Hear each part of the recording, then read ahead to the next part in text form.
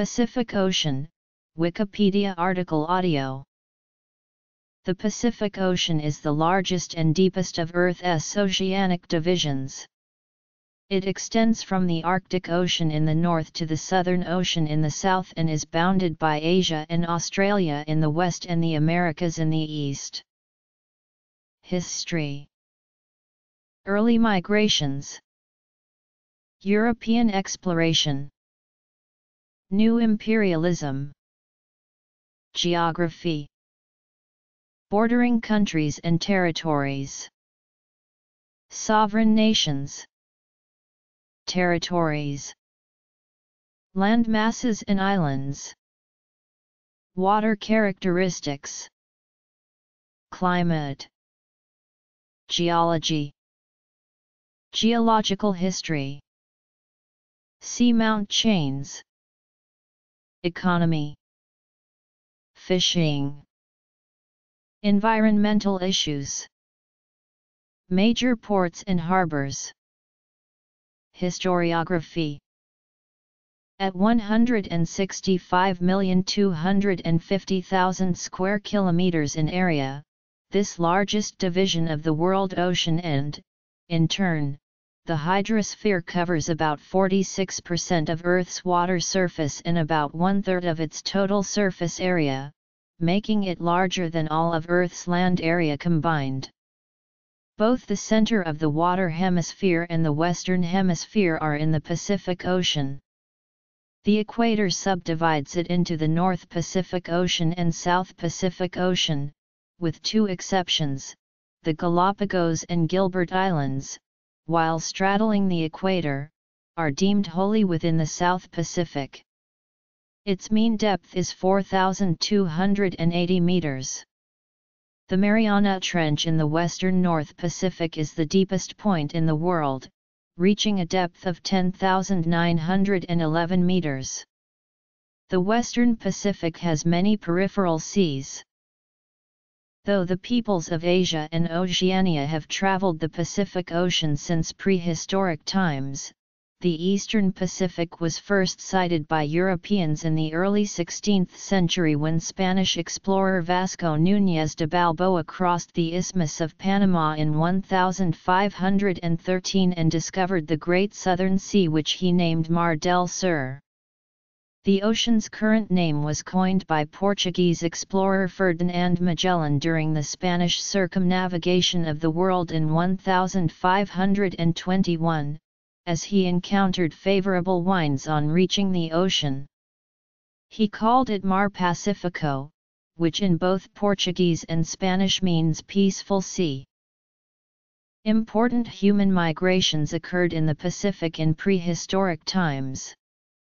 About 3000 BC, the Austronesian peoples on the island of Taiwan mastered the art of long-distance canoe travel and spread themselves and their languages south to the Philippines, Indonesia, and maritime Southeast Asia, west towards Madagascar, southeast towards New Guinea and Melanesia, and east to the islands of Micronesia, Oceania, and Polynesia.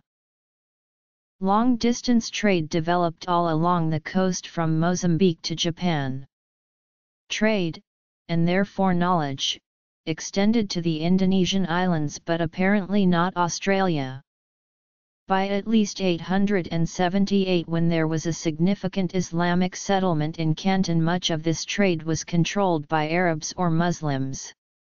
In 219 BC Xu Fu sailed out into the Pacific searching for the elixir of immortality. From 1404 to 1433 Zheng He led expeditions into the Indian Ocean. The first contact of European navigators with the western edge of the Pacific Ocean was made by the Portuguese expeditions of Antonio de Abreu and Francisco Serrao, via the Lesser Sunda Islands, to the Maluku Islands, in 1512, and with Jorge Alvarez's expedition to southern China in 1513, both ordered by Afonso de Albuquerque from Malacca. The east side of the ocean was discovered by Spanish explorer Vasco Núñez de Balboa in 1513 after his expedition crossed the Isthmus of Panama and reached a new ocean. He named it Mar del Sur because the ocean was to the south of the coast of the isthmus where he first observed the Pacific. Later, Portuguese explorer Ferdinand Magellan sailed the Pacific east to west on a Castilian expedition of world circumnavigation starting in 1519. Magellan called the ocean Pacifico because, after sailing through the stormy seas off Cape Horn, the expedition found calm waters. The ocean was often called the Sea of Magellan in his honor until the 18th century. Although Magellan himself died in the Philippines in 1521, Spanish Basque navigator Juan Sebastian Elcano led the expedition back to Spain across the Indian Ocean and round the Cape of Good Hope, completing the first world circumnavigation in a single expedition in 1522. Sailing around and east of the Moluccas, between 1525 and 1527, Portuguese expeditions discovered the Caroline Islands, the Aru Islands, and Papua New Guinea. In 1542–43 the Portuguese also reached Japan.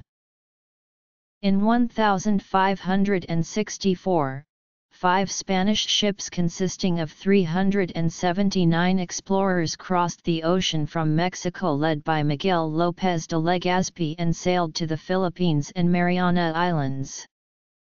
For the remainder of the 16th century, Spanish influence was paramount, with ships sailing from Mexico and Peru across the Pacific Ocean to the Philippines via Guam, and establishing the Spanish East Indies. The Manila galleons operated for two and a half centuries linking Manila and Acapulco, in one of the longest trade routes in history. Spanish expeditions also discovered Tuvalu, the Marquesas, the Cook Islands, the Solomon Islands, and the Admiralty Islands in the South Pacific. Later, in the quest for Terra Australis southern land, Spanish explorations in the 17th century, such as the expedition led by the Portuguese navigator Pedro Fernandes de Queiroz, discovered the Pitcairn and Vanuatu archipelagos, and sailed the Torres Strait between Australia and New Guinea, named after navigator Luis Vaz de Torres. Dutch explorers, sailing around southern Africa, also engaged in discovery and trade, Willem Janszoon, made the first completely documented European landing in Australia, in Cape York Peninsula, and Abel Janszoon Tasman circumnavigated and landed on parts of the Australian continental coast and discovered Tasmania and New Zealand in 1642. In the 16th and 17th century Spain considered the Pacific Ocean a mare clausum a sea closed to other naval powers. As the only known entrance from the Atlantic the Strait of Magellan was at times patrolled by fleets sent to prevent entrance of non-Spanish ships. On the western end of the Pacific Ocean the Dutch threatened the Spanish Philippines. The 18th century marked the beginning of major exploration by the Russians in Alaska and the Aleutian Islands, such as the First Kamchatka Expedition and the Great Northern Expedition, led by the Danish-Russian Navy officer Vitus Bering. Spain also sent expeditions to the Pacific Northwest reaching Vancouver Island in southern Canada, and Alaska.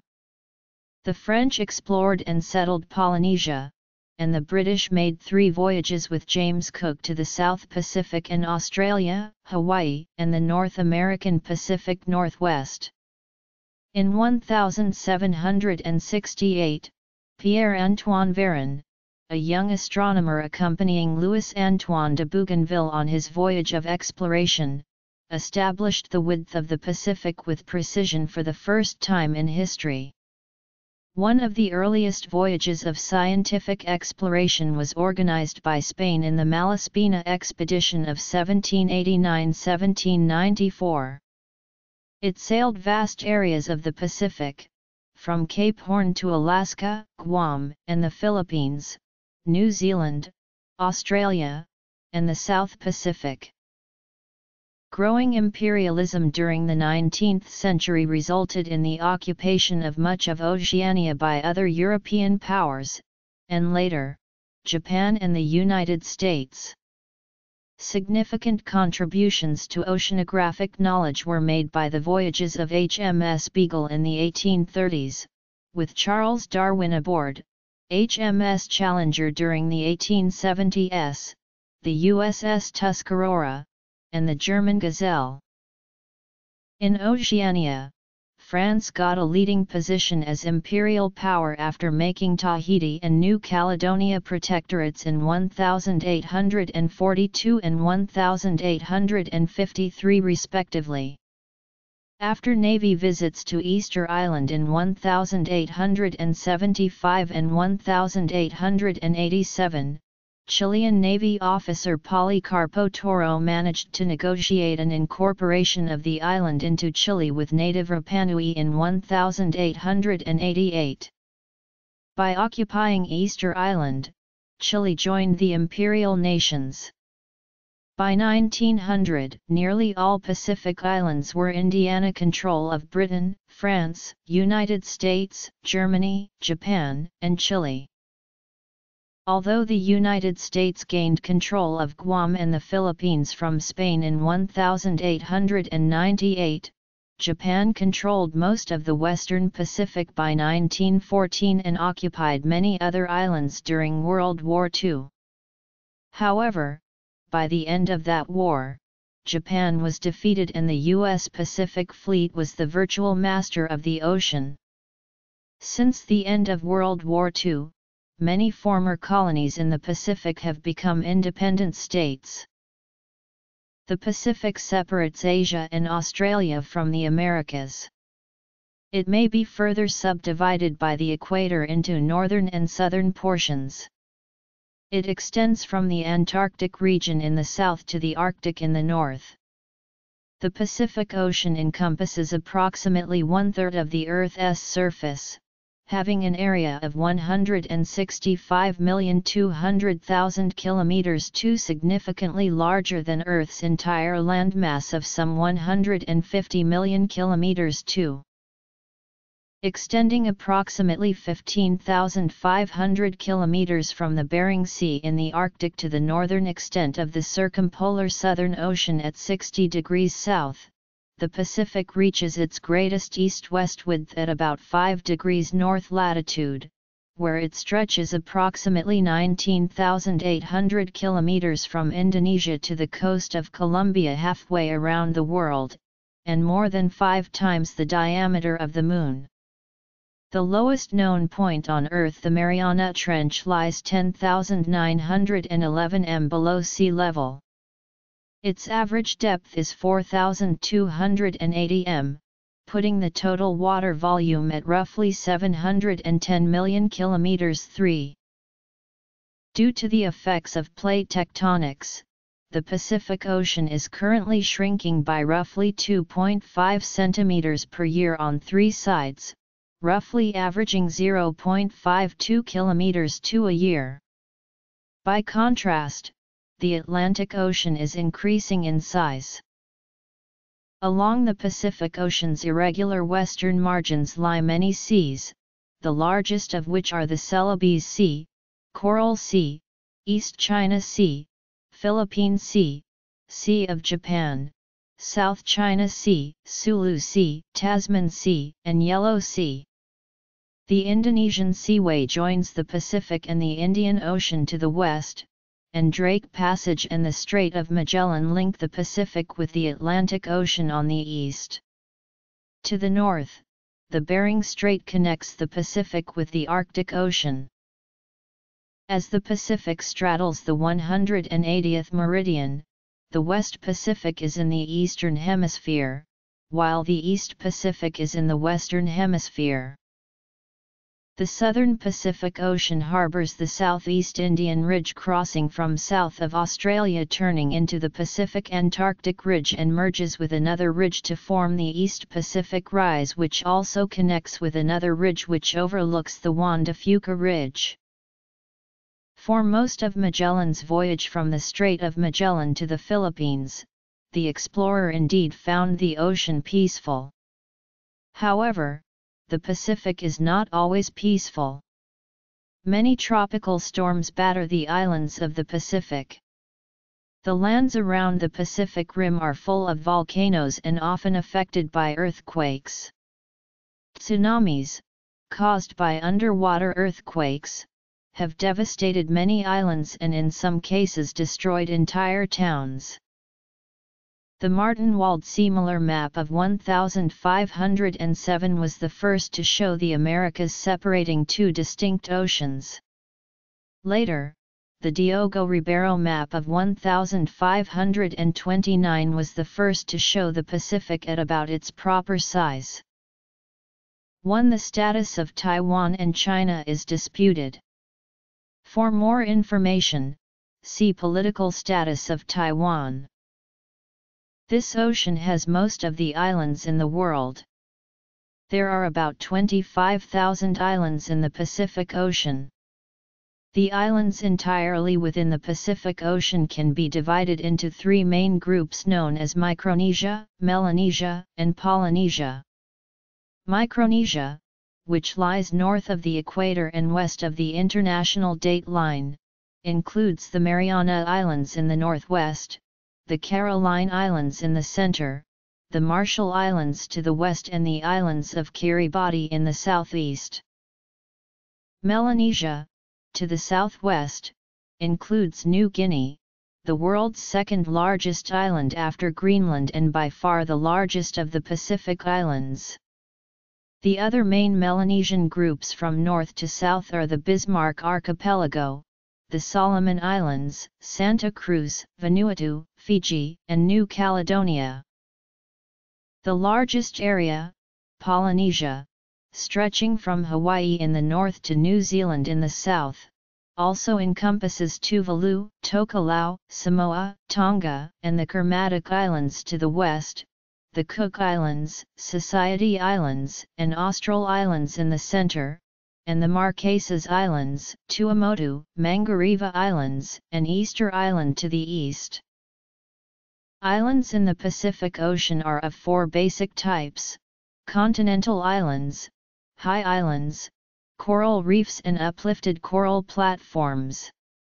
Continental islands lie outside the andesite line and include New Guinea, the islands of New Zealand, and the Philippines. Some of these islands are structurally associated with nearby continents. High islands are of volcanic origin, and many contain active volcanoes. Among these are Bougainville, Hawaii, and the Solomon Islands. The coral reefs of the South Pacific are low-lying structures that have built up on basaltic lava flows under the ocean's surface. One of the most dramatic is the Great Barrier Reef off northeastern Australia with chains of reef patches. A second island type formed of coral is the uplifted coral platform, which is usually slightly larger than the low coral islands. Examples include Banaba and Makatea in the Tuamotu group of French Polynesia. Pacific Ocean upsun from the rocks. Point Reyes Headlands, Point Reyes National Seashore, California. Tahuna Maru Islet, French Polynesia. Los Molinos on the coast of southern Chile. The volume of the Pacific Ocean, representing about 50.1% of the world's oceanic water, has been estimated at some 714 million cubic kilometers. Surface water temperatures in the Pacific can vary from 1.4 degrees C, the freezing point of sea water, in the poleward areas to about 30 degrees Celsius near the equator. Salinity also varies latitudinally, reaching a maximum of 37 parts per thousand in the southeastern area.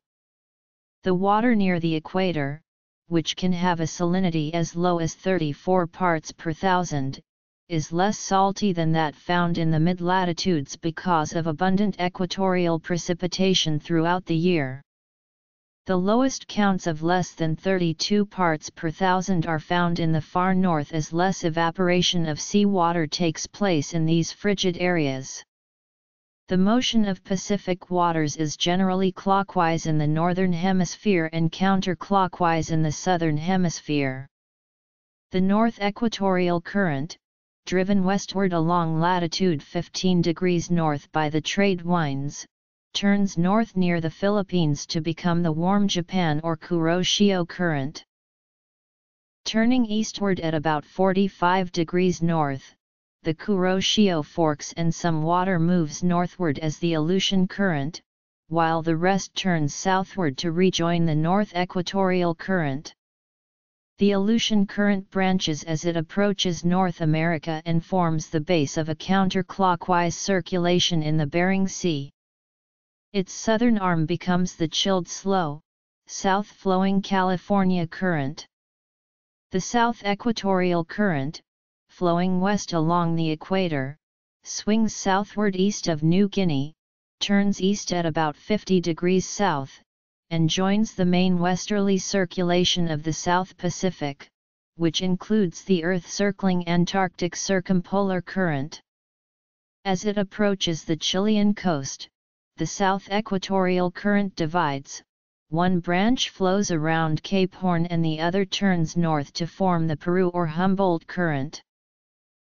The climate patterns of the northern and southern hemispheres generally mirror each other.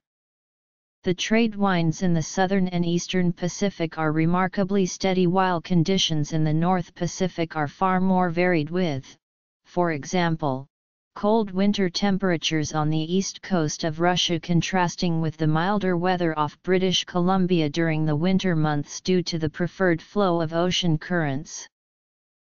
In the tropical and subtropical Pacific, the El Niño Southern Oscillation affects weather conditions. To determine the phase of ENSO, the most recent three-month sea surface temperature average for the area approximately 3,000 km to the southeast of Hawaii is computed, and if the region is more than 0.5 degrees Celsius above or below normal for that period, then an El Niño or La Nina is considered in progress. In the tropical western Pacific, the monsoon and the related wet season during the summer months contrast with dry winds in the winter which blow over the ocean from the Asian landmass. Worldwide, tropical cyclone activity peaks in late summer, when the difference between temperatures aloft and sea surface temperatures is the greatest. However, each particular basin has its own seasonal patterns. On a worldwide scale, May is the least active month, while September is the most active month. November is the only month in which all the tropical cyclone basins are active. The Pacific hosts the two most active tropical cyclone basins, which are the northwestern Pacific and the eastern Pacific. Pacific hurricanes form south of Mexico, sometimes striking the western Mexican coast and occasionally the southwestern United States between June and October, while typhoons forming in the northwestern Pacific moving into Southeast and East Asia from May to December. Tropical cyclones also form in the South Pacific Basin, where they occasionally impact island nations. In the Arctic, Icing from October to May can present a hazard for shipping while persistent fog occurs from June to December. A climatological low in the Gulf of Alaska keeps the southern coast wet and mild during the winter months. The westerlies and associated jet stream within the mid-latitudes can be particularly strong, especially in the southern hemisphere, due to the temperature difference between the tropics and Antarctica, which records the coldest temperature readings on the planet. In the southern hemisphere, because of the stormy and cloudy conditions associated with extratropical cyclones riding the jet stream, it is usual to refer to the westerlies as the roaring 40s, furious 50s, and shrieking 60s according to the varying degrees of latitude. The ocean was first mapped by Abraham Ortelius. He called it Maris Pacifici following Ferdinand Magellan's description of it as the Pacific Sea during his circumnavigation from 1519 to 1522. To Magellan, it seemed much more calm than the Atlantic. The Andesite Line is the most significant regional distinction in the Pacific. A petrologic boundary, it separates the deeper, mafic igneous rock of the central Pacific Basin from the partially submerged continental areas of felsic igneous rock on its margins. The Andesite line follows the western edge of the islands off California and passes south of the Aleutian Arc, along the eastern edge of the Kamchatka Peninsula, the Kuril Islands, Japan, the Mariana Islands, the Solomon Islands, and New Zealand's North Island. The dissimilarity continues northeastward along the western edge of the Andes Cordillera along South America to Mexico, returning then to the islands off California.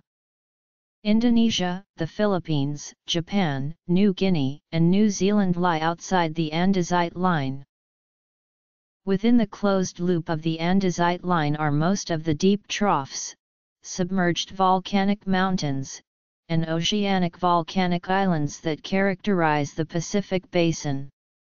Here basaltic lavas gently flow out of rifts to build huge dome-shaped volcanic mountains whose eroded summits form island arcs, chains, and clusters. Outside the Andesite line, volcanism is of the explosive type, and the Pacific Ring of Fire is the world's foremost belt of explosive volcanism. The Ring of Fire is named after the several hundred active volcanoes that sit above the various subduction zones. The Pacific Ocean is the only ocean which is almost totally bounded by subduction zones. Only the Antarctic and Australian coasts have no nearby subduction zones.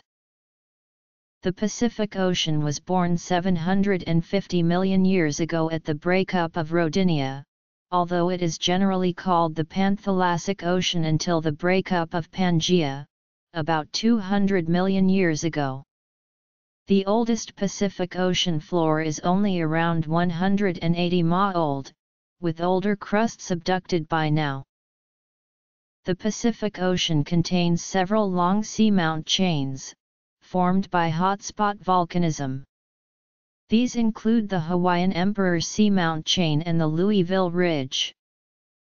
The exploitation of the Pacific's mineral wealth is hampered by the ocean's great depths. In shallow waters of the continental shelves off the coasts of Australia and New Zealand, petroleum and natural gas are extracted, and pearls are harvested along the coasts of Australia, Japan, Papua New Guinea, Nicaragua, Panama, and the Philippines, although in sharply declining volume in some cases. Fish are an important economic asset in the Pacific. The shallower shoreline waters of the continents and the more temperate islands yield herring, salmon, sardines, snapper, swordfish, and tuna, as well as shellfish. Overfishing has become a serious problem in some areas. For example, catches in the rich fishing grounds of the Okhotsk Sea off the Russian coast have been reduced by at least half since the 1990s as a result of overfishing. The quantity of small plastic fragments floating in the Northeast Pacific Ocean increased a hundredfold between 1972 and 2012. Marine pollution is a generic term for the harmful entry into the ocean of chemicals or particles. The main culprits are those using the rivers for disposing of their waste. The rivers then empty into the ocean, often also bringing chemicals used as fertilizers in agriculture. The excess of oxygen-depleting chemicals in the water leads to hypoxia and the creation of a dead zone. Marine debris, also known as marine litter, is human-created waste that has ended up floating in a lake, sea, ocean, or waterway. Oceanic debris tends to accumulate at the center of gyres and coastlines, frequently washing aground where it is known as beach litter. In addition, the Pacific Ocean has served as the crash site of satellites, including Mars 96, Phobos Grunt, an upper atmosphere research satellite.